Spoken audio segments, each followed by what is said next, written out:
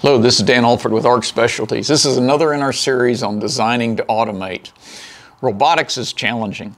Frequently, if you change your part design to facilitate automation, life gets much simpler. We make a lot of suggestions to our customers. Some of them are taken, some of them are not. This was a great idea, in my opinion, that was never implemented, but I'd like to talk about it anyway. So on hydro turbines at hydroelectric plants, they have something called wickets, and these wickets are what control the water flow in and out of the turbine. And this controls the speed of the turbine based upon the electrical load needs of the grid at any given moment. None of that matters, we're talking about welding here. But where the wickets actually close, the end of the wicket contacts the next wicket closer to it. Anytime you have metal to metal contact, you get corrosion. So the way industry has addressed this is they'll cut a groove in this wicket, which may be 10 feet long or more, and then they'll weld it up with stainless steel.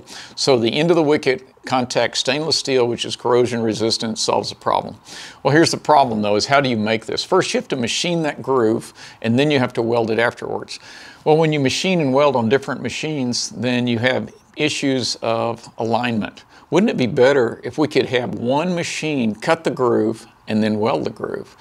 If this was the case, then we would know precisely where the groove was. You wouldn't need any form of adaptive control, plus you'd only handle the part once. Well, typically welding machines don't remove metal. Here we have an example of where we do remove metal. This part, the groove was cut using plasma arc gouging. It's a great process, very infrequently utilized in industry. You can actually do machining with zero tool force with plasma gouging, and it's also very fast. Machine tools can't remove metal nearly as quickly as a plasma gouger. We're up to 130 pounds an hour metal removal rate. Admittedly, it's not as accurate as a machine tool, but I think we're holding tolerances of less than a 16th of an inch, which is more than adequate for what we're doing here. And then once the robot has cut this groove, we're using inexpensive plasma technology instead of expensive machine tool technology, then we're able to have that same robot weld the groove. And you can see this cross section here. The weld is stainless. We're cut into the groove.